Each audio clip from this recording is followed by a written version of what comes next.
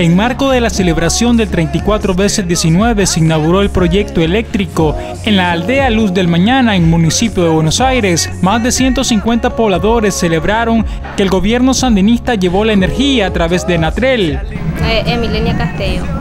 Primeramente, ¿verdad? Le damos gracias a Dios y al gobierno que gracias a él tenemos la energía eléctrica que es muy importante, ¿verdad? Para la población. Creo que, que si está así el gobierno, pues le seguiremos apoyando, ¿verdad? Este, y porque gracias a él este, y a la energía que hoy tenemos, pues tenemos muchas cosas y muy importantes.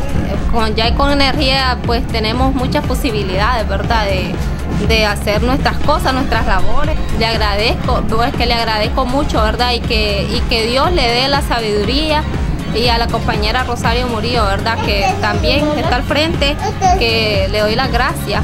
Más de una docena de viviendas fueron las protagonistas de este logro significativo. La empresa nacional de transmisión eléctrica Enatrel pretende para este año llevar la iluminación a 39 comunidades con las mismas características. Estos programas de inauguración continúan la próxima semana por orientación del comandante Daniel y la compañera Rosario que la energía eléctrica debe llegar a todos los nicaragüenses.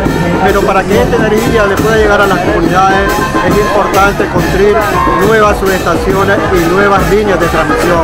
Por eso también mencionábamos que se está construyendo la nueva subestación San Juan del Sur para mejorar el suministro de energía eléctrica a todo el área turística, que va a estar en el año 2014 con una inversión de casi 6 millones de dólares. 67 protagonistas requisieron el derecho a la energía eléctrica con una inversión de 89 mil dólares.